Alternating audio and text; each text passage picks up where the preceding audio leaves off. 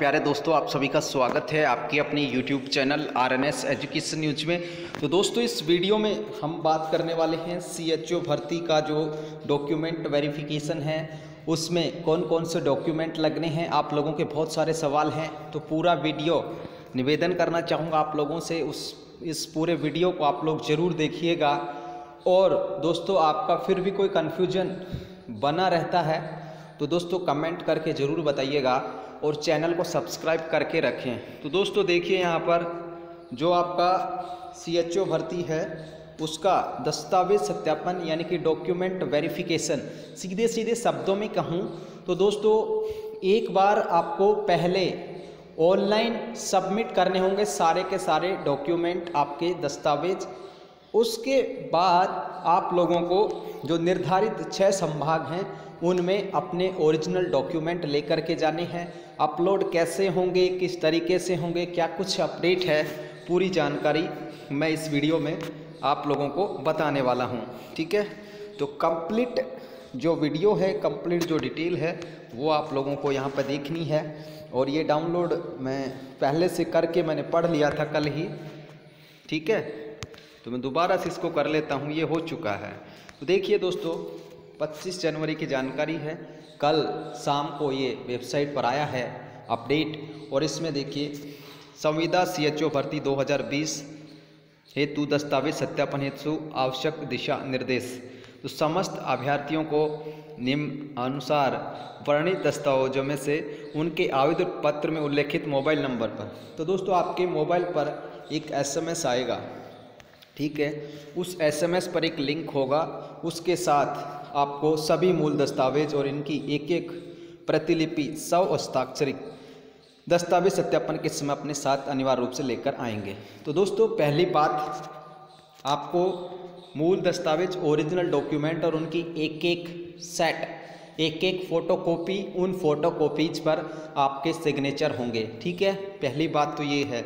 दूसरा दोस्तों, आपको क्या क्या अपलोड करना है, विभाग द्वारा क्या कार्रवाई इस पर की जाएगी तो सबसे पहले जो अपलोड होगा, आवेदन पत्र का प्रिंट और संविदा सीएचओ हेतु जारी एडमिट कार्ड।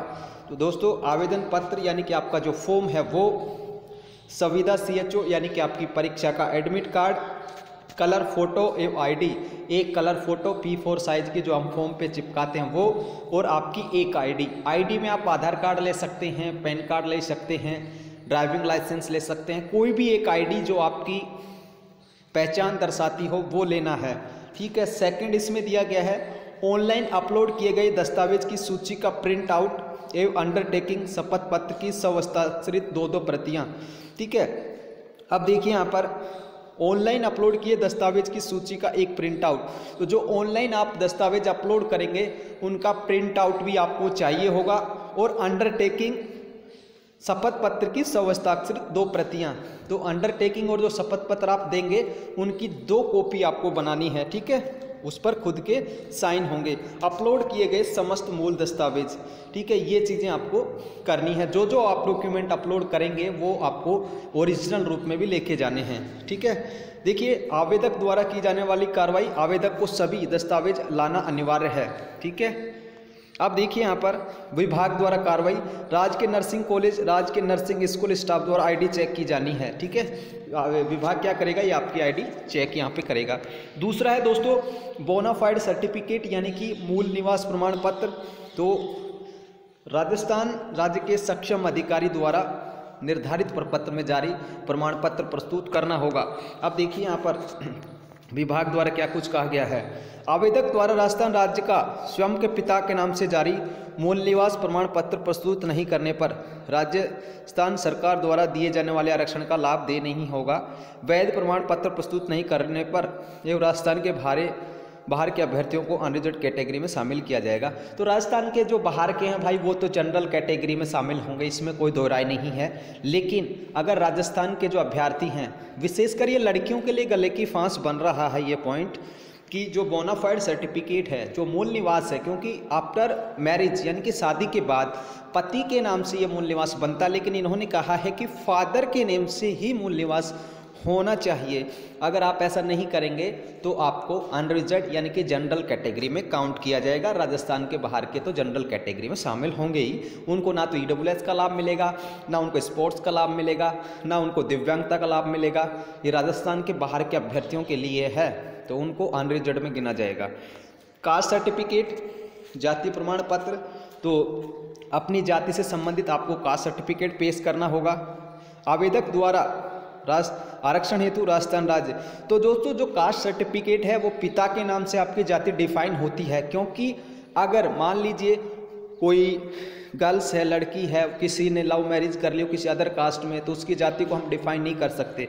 इसलिए जो जाति प्रमाण पत्र है, अगर किसी लड़की ने शादीशुदा महिला ने जाति प्रमाण पत्र अपने हस्बैंड का नाम का बना रखा है तो भाई वो नहीं चलेगा। उनके लिए ज़रूरी है कि आपके पिता का नाम का जाति प्रमाण पत्र आपके पास होना चाहिए, ठीक है? चौथा पॉइंट है दोस्तों ओबीसी नॉन क्रीमिलियर सर्टिफिकेट तो ये आपके पास होना चाहिए।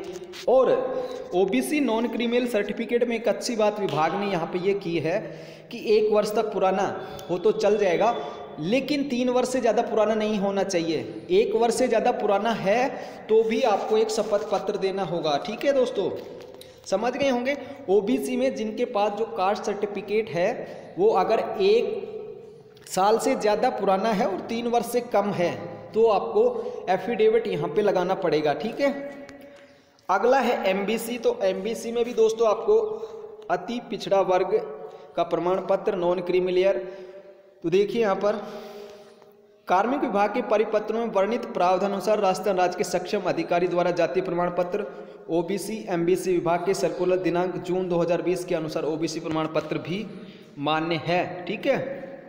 तो देखिए यहाँ पर दोस्तों आप लोग देख सकते हैं और इसमें भी आपको पिता के नाम से जारी नवीनतम एक वर्ष तक पुराना या अधिकतम तीन वर्ष तक शपथ पत्र के साथ एक वर्ष से अधिक पुराना जारी दस्तावेज़ प्रस्तुत नहीं करने पर उसको अनारक्षित वर्ग में शामिल कर लिया जाएगा प्राप्तांकों के आधार पर।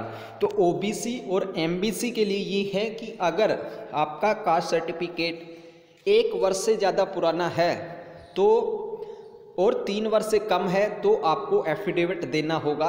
एक वर्ष से कम किसी का पुराना है तो उनको एफिडेविट की आवश्यकता नहीं होगी। ठीक है? पाँच नंबर पॉइंट आपका क्लियर होगा। चार पाँच। अब दोस्तों ई e का है। तो ई e देखिए यहाँ पर। उन्नीस दो दो हज़ार नौ की जो प्रावधान है, उसके अनुसार सक्षम अधिकारी द्वारा ये जारी होना चाहिए। और इसमें आवेदक द्वारा अपने आरक्षण हेतु राजस्थान राज्य के सक्षम अधिकारी द्वारा पिता के नाम से जारी प्रमाण पत्र तो जो ई e का है वो भी पिता के नाम से राजस्थान का होना चाहिए तो वो आप पे इसमें आरक्षण का लाभ आपको मिलेगा ई e सर्टिफिकेट के बारे में। जिन अभ्यर्थियों ने फॉर्म अप्लाई करते वक्त ई e कैटेगरी दर, दर्शाई थी उस टाइम पे आपके पास सर्टिफिकेट नहीं था अब आपने बनवा लिया है तो आपको ई पेश करना होगा। सात नंबर का जो पॉइंट है दोस्तों टीएसपी क्षेत्र के निवासी का, ये टीएसपी क्षेत्र का है। इसमें देखिए, एक आठ दो हज़ार अठारह के अनुसार अनुसूचित क्षेत्रों को पुनः परिनिश्चित रीडिफाइंडेड के अनुसार तो ये यहाँ पर आपके पास होना चाहिए, जो डिफाइन किए गए थे।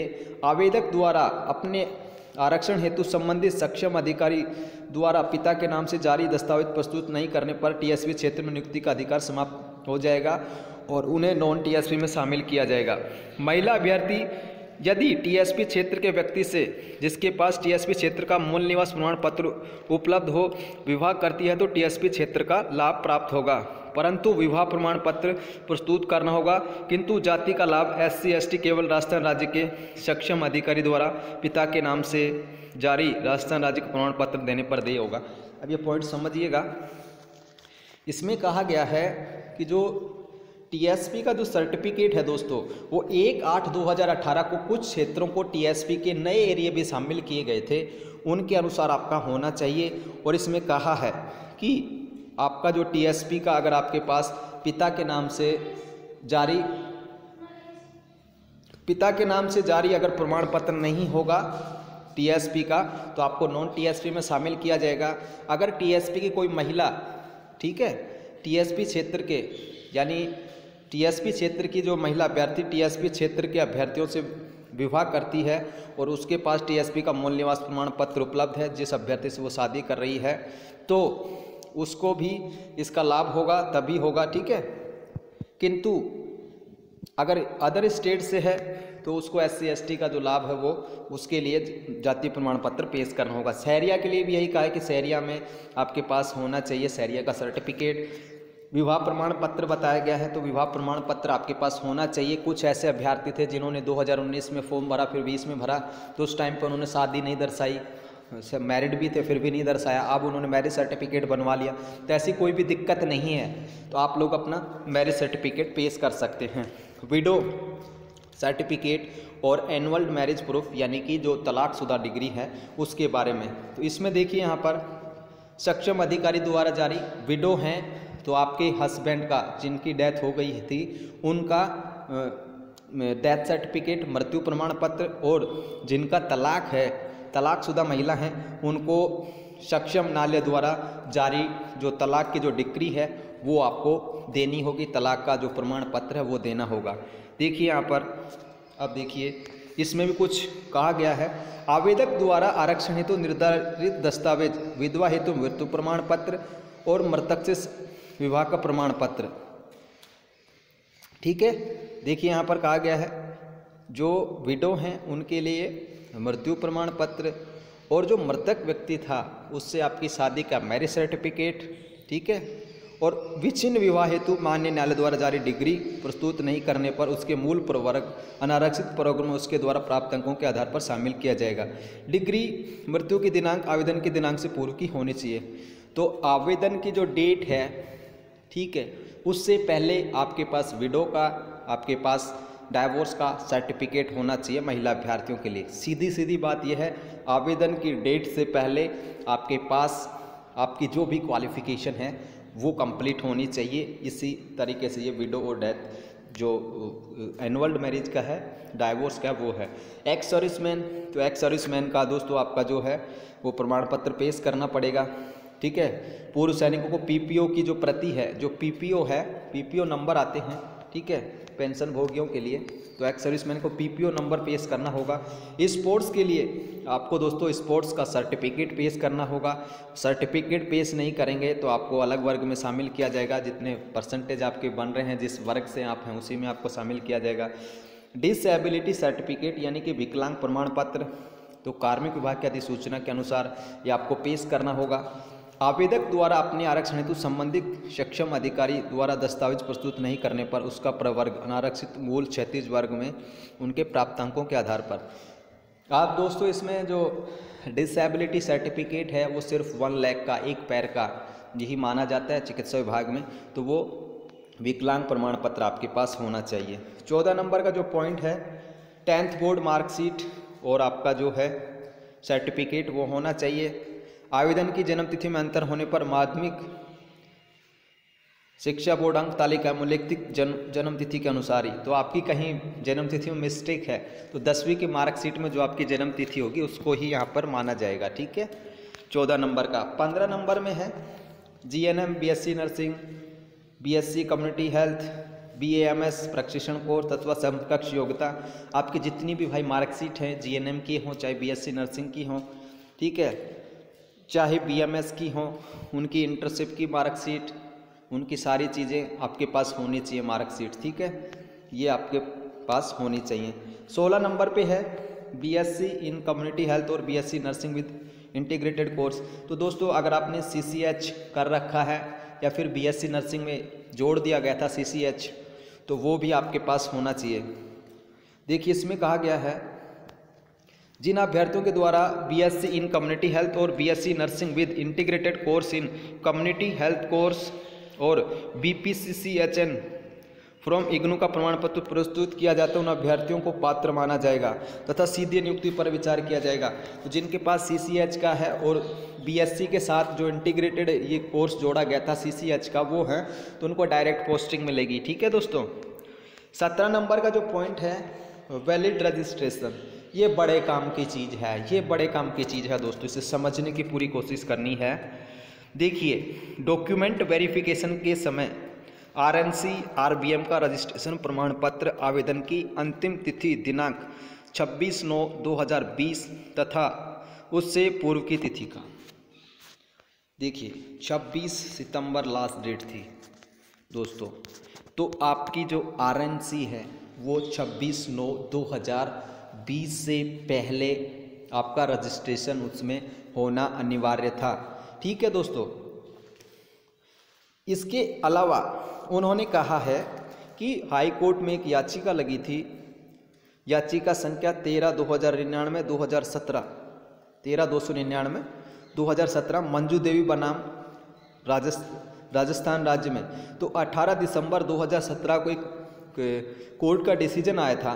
उसमें संविदा सीएचओ भर्ती की दिनांक 10 ग्यारह 2020 को आयोजित परीक्षा तक दिनांक का मान्य होगा और इसी रसीद के आधार पर डॉक्यूमेंट वेरिफिकेशन की दिनांक तथा आरएनसी आरबीएम का पंजीयन प्रस्तुत प्रमाण पत्र प्रस्तुत यहाँ पे करना होगा। ठीक है? अब देखिए। इसमें कहा गया है दोस्तों 26 नौ 2020 से पहले या तो रजिस्ट्रेशन हो या जो आपकी 10 ग्यारह 2020 को जो आपकी परीक्षा थी, उससे पहले आपके पास आपका रजिस्ट्रेशन होना चाहिए। देखिए, इसमें स्पष्टीकरण दिया गया है। डॉक्यूमेंट वेरिफिकेशन के समय आरएनसी आरबीएम का रजिस्ट्रेशन प्रमाण पत्र आवेदन की अंतिम तिथि दिनांक 26 नौ 2020 तक या उससे पूर्व तिथि का प्रस्तुत किया जाना आवश्यक है। परंतु यदि रजिस्ट्रेशन प्रमाण पत्र उक्त तिथि के बाद के दिनांक को जारी हुआ है तो रजिस्ट्रेशन प्रमाण पत्र के साथ 26 नौ 2020 तक या उससे पूर्व की आरएनसी, आरबीएम के आवेदन प्रस्तुत करने की रसीद यहाँ पर प्रस्तुत करनी होगी। तथापि राजस्थान उच्च न्यायालय जोधपुर बेंच में याचिका तेरह दो दो सौ निन्यानवे ओब्लिक 2017 मंजू देवी अन्य बनाम राजस्थान राज्य में दिनांक 18 बारह 2017 में पारित निर्णय के परिप्रेक्ष्य में आरएनसी, आरबीएम में आवेदन प्रस्तुत करने के दिनांक संविजा संविदा सी एच ओ भर्ती 2020 की दिनांक 10 ग्यारह 2020 को आयोजित परीक्षा के दिनांक तक का मान्य होगा और इसी रसीद के आधार पर डॉक्यूमेंट वेरिफिकेशन के दिनांक तक आर एन का प्रस्तुत प्रमाण करना होगा। अब देखिए दोस्तों, ये लास्ट का जो पॉइंट है, वो ये है पहली बात तो छब्बीस नौ दो से पहले का हो, ठीक है? यानी कि आवेदन की डेट से पहले का हो। दूसरी बात, जो कोर्ट का एक डिसीज़न था, मंजू देवी बनाम राजस्थान राज्य और अन्य तो उसमें ये कहा गया था कि आपकी जो परीक्षा थी भाई 10 नवंबर को। 10 नवंबर से पहले अगर आपने आरएनसी के लिए अप्लाई कर दिया था और वो रिसिप्ट आपके पास है तो भी आपकी आरएनसी को वैलिड माना जाएगा, ठीक है? सीधे सीधे शब्दों में बात यह है, या तो 26 नौ 2020 से पहले आपका रजिस्ट्रेशन हो आरएनसी में, या फिर आपका 10 नवंबर 2020 से पहले आपने आरएनसी में अप्लाई कर दिया था रजिस्ट्रेशन के लिए, वो हो, दोनों ही स्थिति में आप लोग वैलिड हैं, आप लोग एलिजिबल हैं, ठीक है? ये आपके डॉक्यूमेंट वेरिफिकेशन का था। अब इसमें कहा गया कि 30 तारीख से स्टार्ट होंगे, आठ छः स्थानों पर आठ केंद्र बनाए गए हैं, जिसमें ये गवर्नमेंट कॉलेज वगैरह इसमें दी गई हैं, ठीक है? अब दोस्तों इसमें क्या कुछ कहा गया है? तो आपको विचारित सूची में शामिल अभ्यर्थियों को उनके द्वारा आवेदन पत्र में उल्लेखित दस्तावेज़ को ऑनलाइन सबमिट हेतु लिंक उपलब्ध करवाया जाएगा। अभ्यर्थी द्वारा आवेदन पत्र में उल्लेखित दस्तावेज़ और अंडरटेकिंग तथा शपथ पत्र लिंक के माध्यम से अपलोड कर सबमिट किया जाएगा। दस्तावेज़ अपलोड करने के पश्चात अभ्यर्थी अपलोडेड दस्तावेजों की सूची की सौ हस्ताक्षरिक दो प्रतियाँ तथा अंडरटेकिंग व शपथ पत्र की दो प्रतियाँ लेकर दस्तावेज़ प्रमाणीकरण के समय। भाई, जो आप अपलोड करेंगे, वो के वो आपको लेकर के जाने हैं। ठीक है? शपथ पत्र की दो प्रतियाँ लेनी हैं और अंडरटेकिंग की दो और जो आपके डॉक्यूमेंट आप अपलोड करेंगे, उनकी एक एक प्रति लेनी है। ठीक है?